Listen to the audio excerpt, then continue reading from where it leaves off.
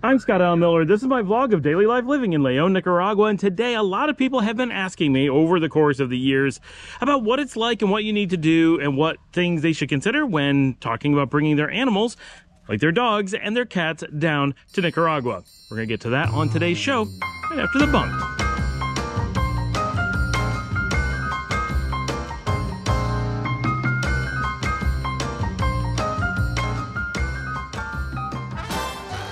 As many of my regular viewers know, my family brought down two dogs with us when we moved from the United States. We have what is now a five or six year old blue heeler mix who is running around behind me and a three year old Boston Terrier. They both love living in Nicaragua and they are very glad that they got to come along with our family and make this move. They have a much more outdoor lifestyle than they were used to in the United States. We are lucky. We live in an area with a very large garden and our animals love being able to run around. They have lived lived in the city, and they did enjoy getting to know all the neighbors and the smells of the city, but they prefer the big garden and being able to be outside all the time. And when they were younger and lived in Texas, we had a much smaller yard, but we did have a yard. They were able to run in and out. We'd leave the doors open, and they were out a lot there as well. They are our babies, as many of your pets are for you, and bringing them to Nicaragua with, with us was an absolute imperative. In fact, being able to bring our dogs safely to Nicaragua was an important consideration in where in the world we would want to be able to live. Of course,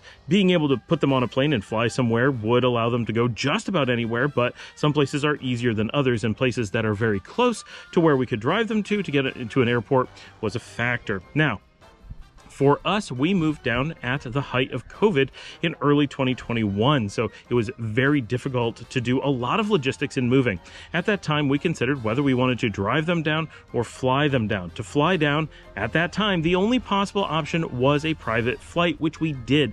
The private flight ended up, and this was in 2021, so as you know, inflation has hit pretty hard, so expect the prices have gone up, even though there are more flights now and it was about $16,000. But the upside to that is that we managed to get the dogs down completely safely in minimal time with minimal effort and stress on the dogs. We were able to move myself, my wife, my children, and an extraordinary amount of luggage because the entire plane was ours. This wasn't just a private flight that we were a part of, it was a completely chartered flight just for my family. So the dogs were able to be not just in the cabin with us, but loose in the cabin. They did have to have collars, but they didn't have to have harnesses, they didn't have to have cages of any sort. They could sit on our laps, they could roam around in the cabin, they could just lay in the aisle, and that's what they did and that worked out really great. My dogs have some issues, so we had some special considerations as well. My little one is a Boston Terrier. That means he has a short nose, and that means that it is not safe for him to fly in cargo because it can trigger respiratory issues. He's pretty healthy. He probably would have been just fine, but in general, short-nosed uh, breeds cannot fly in that way. It's just not safe. Our other dog we have, they're both rescues. Uh, our, our blue heeler mix, uh, we rescued her because she's incredibly nervous and she cannot under any conditions be crated. Even in a house, even for just a few minutes, a crate causes absolute panic and could easily trigger a heart attack for her under good conditions where we're close by. She can never be left alone. Even in a house, she will tear the doors apart. And we have found her roaming the, the neighborhood looking for us when we went out to eat when we lived in Texas because she figured out how to open locked doors to get out of the house. And she will tear anything apart to get out.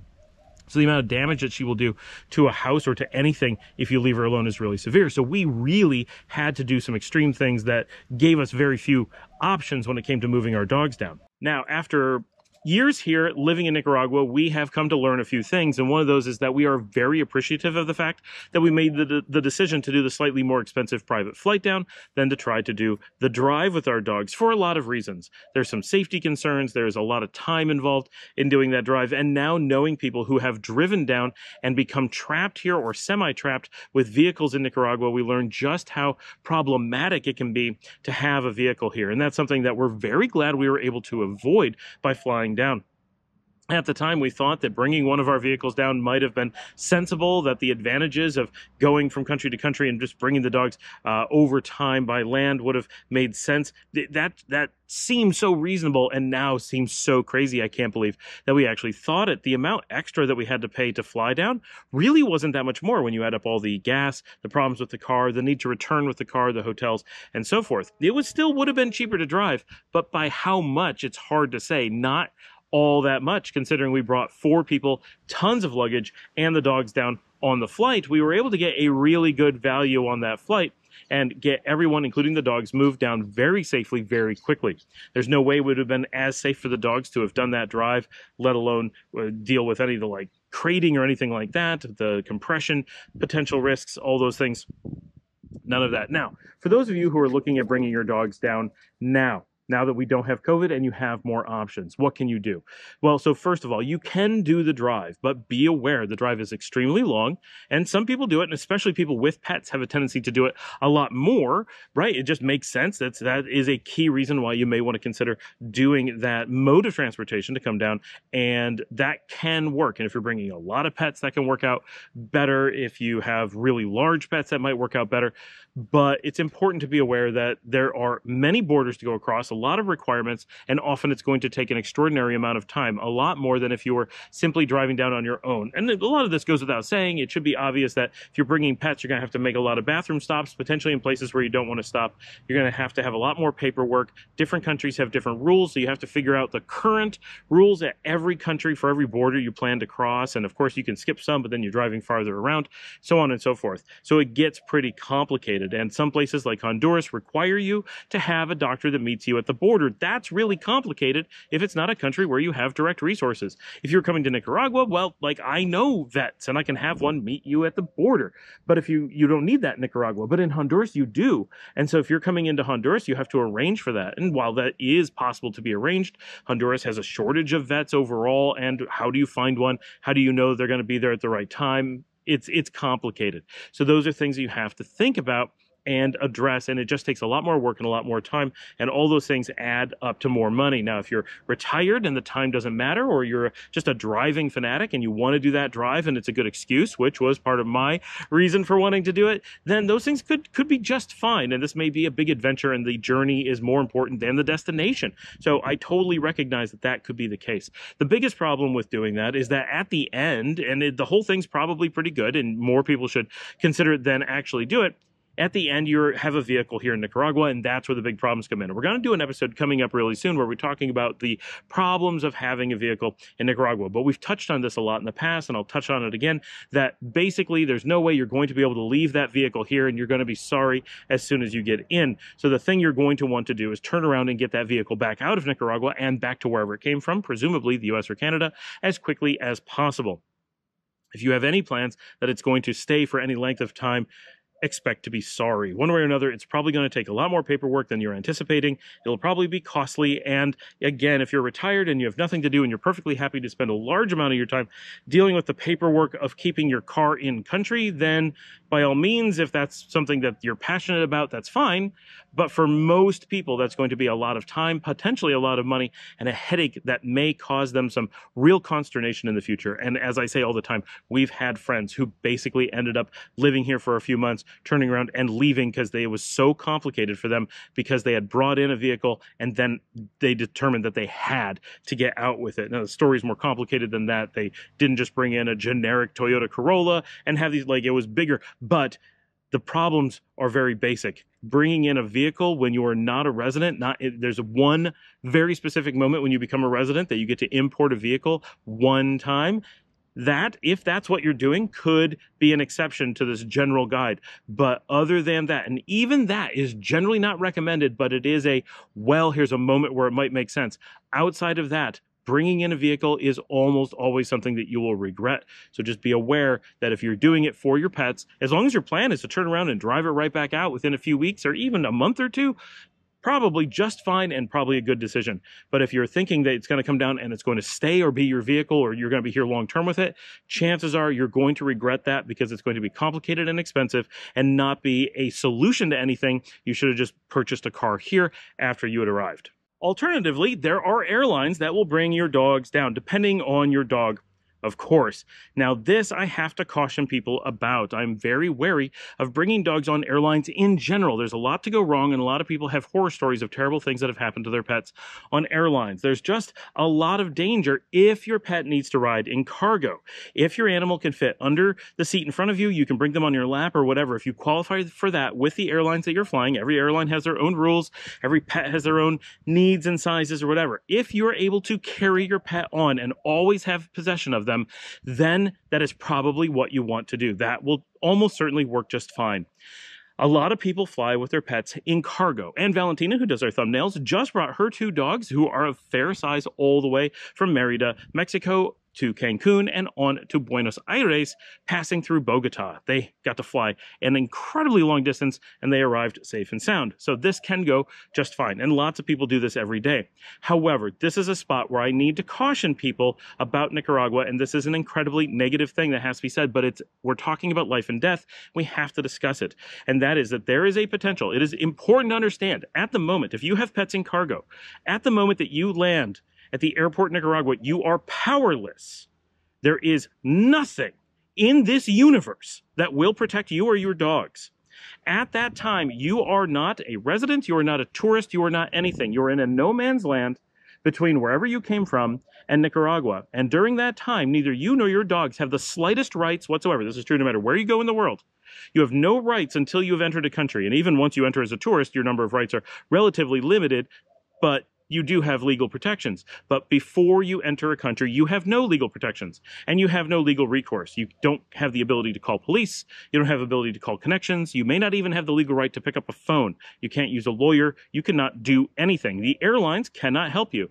And there is in that moment a possibility of your dogs being taken off of a plane and anything can happen to them and there is nothing you can do about it. And we know firsthand of people who have had their dogs taken out, put onto a hot tarmac, and allowed to sit there until they paid extraordinary fees to people privately to allow their dogs into the country.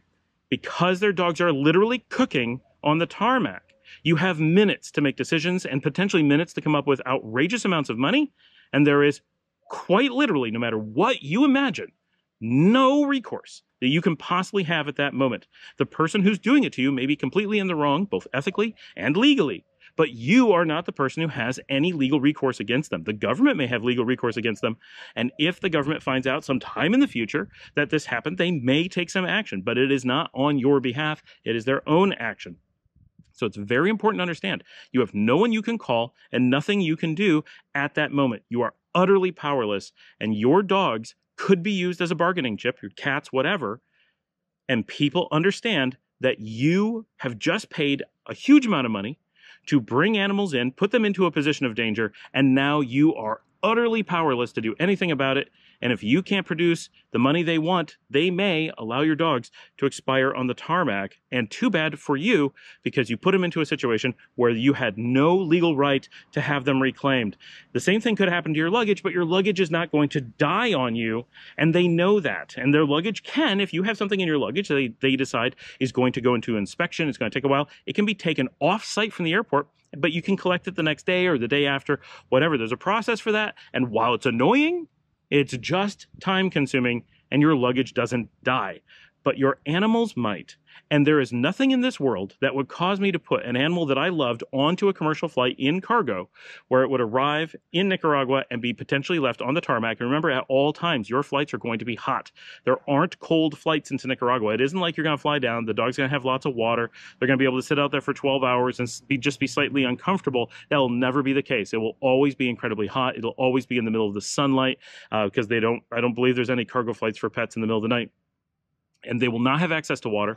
They will have been on a plane. They could be already in distress, and that situation on the tarmac will be both a panic situation for them. They will be away from you. They'll be in a lot of heat. And of course, that doesn't happen to the average animal, but it happens to actual animals. It is an actual problem. And until the government empowers someone to take legal action against the people who do that and have real repercussions, then that is a fear that you have to have. That is just a very specific moment where you're in a position of extreme danger with your animals and the only thing you can do to protect yourself is by not being in that situation.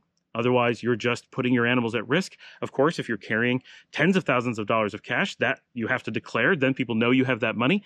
Then you may be able to come up with the funds necessary to save your animals. But that you're that's the kind of position you could find yourself in, and that is not a thing that very many people want. And it is if you're in a position to be able to pay those kinds of fees comfortably, then why not just take a private plane and skip the problem in the first place? Have your animals with you at all times. So that is something that unfortunately we just have to address. It is, we have very close friends who have had that happen to them with their animals. Luckily, they were able to come up with the funds. They were able to get their animals saved. Their animals were very, very close to to expiring on the runway right there in front of them and they were so terrified. There was nothing they could do. They had just spent so much money to bring these animals that they're like their children down with them and one of them did die shortly thereafter. Probably not because of that event but certainly it could have been exacerbated. It was very soon thereafter. It was an older animal uh, but it's it, it's a very real possibility that the two are connected. The others are all fine now. That one was old so it may have died of natural causes. Anyway but that situation just absolutely awful. And I cannot warn people enough to be wary of that situation. So driving down will protect you. Private flights will protect you. Flying with the animal in the cabin will protect you. But unfortunately, just lots of people, the affordable thing to do is to put your animals into cargo, fly down. And, uh, you know, most airlines with most animals are okay with that. But the problems that happen after they unload the animals are not the airline's problems. It's not for them to warn you about. And there, there's just no process. That is a moment and this is a thing that people don't understand is in that moment you're you're not through customs yet. You're not through border control yet. And there isn't a specific person that you can run to and be like you have to save my animals. There isn't that person. You don't have that resource until you're further along in the process. And so it's just the only protection you have is by not letting yourself be in that in that position. So i i i can't strongly enough warn people how how scared I would be if my animals had to do that. So recommending that as an option to anyone is not something that I feel comfortable doing. Beyond that one logistical problem of getting your animals safely into Nicaragua, generally bringing animals to Nicaragua is a pretty painless and cheap process. There's some basic paperwork you should have that includes a uh, bill of clean health and all of the uh, you know shots and vaccines and stuff that you're expected to have from your home country, like rabies vaccines. You need to have all those ducks in a row and uh, just have that paperwork with you in you know quadruplicate or whatever. Make sure you can hand a copy to absolutely everyone. Make sure you have digital copies. Make sure you have a way to print it out just in case, because that's just how things work here, right? Sometimes you just need everything printed out, be ready to hand it to people people and uh, and be confident that you have everything. Look, I have everything possible. Have a vet in the United States lined up, someone who has the ability to to write the international paperwork, have them be able to fax or email anything you may need. Uh, make sure you have a vet that can that can talk to someone just in case. Um, if possible, have a vet lined up in Nicaragua who can speak on your behalf, just in case. I've never had anyone need that, but just in case. Good to have those things.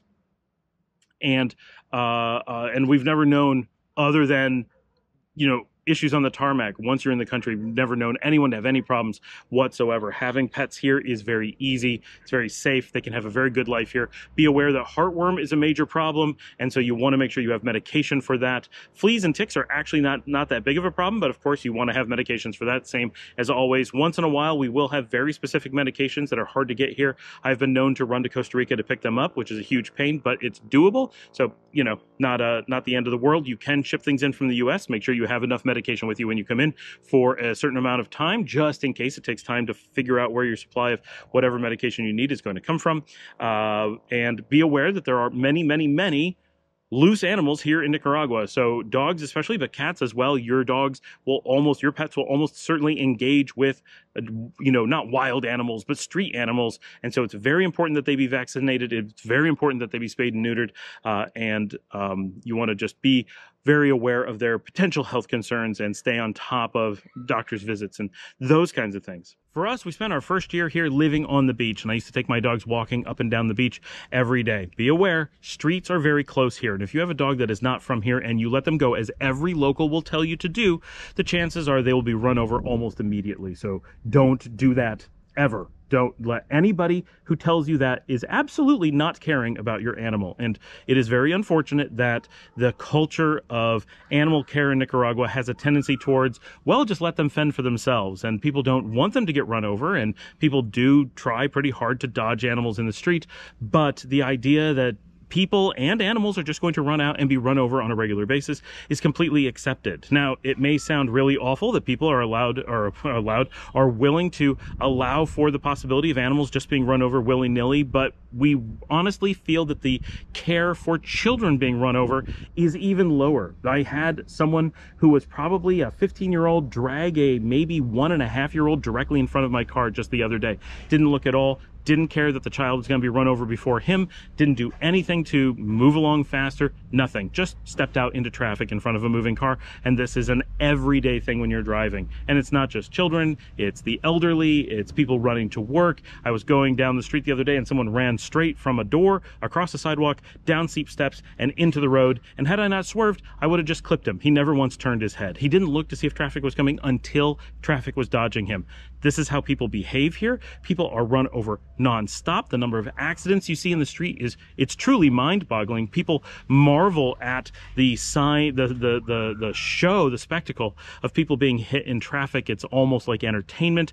Uh, and, and for some reason, because of that, people find everyone else getting run over to just be very funny and people just let it happen. And they themselves, just because I don't know why, but people just go out into traffic like you wouldn't believe. And because they do it with people, of course, they're going to do it with animals as well. So when people say, oh no, it's fine, let your dog run loose. Why would you put him on a leash? It's because they are completely willing to let their dogs or their children play in the street and just take their chances and it's true that in having done that over time, the number of people or dogs that get hit is fewer and fewer as survival of the fittest makes those that are less likely to play in the street or more likely to listen for cars are the ones that keep having babies so they just eventually become more averse to being in the road but that is literally what's going on. And so do not listen to people say that. I cannot possibly stress this enough because people will put real pressure on you to put your dogs in danger. And your dogs if you're coming from somewhere other than nicaragua i guarantee they don't have any of that dna filtering that nicaraguan dogs have. And as it is it is very dangerous to be an animal or a person in nicaragua if you're going to get into the street. Now, of course, if you come from the US and you know, look both ways and pay attention and be defensive, you're fine. Like, no one's going to clip you. People are really good about it because they're dodging people stepping right into their cars all the time.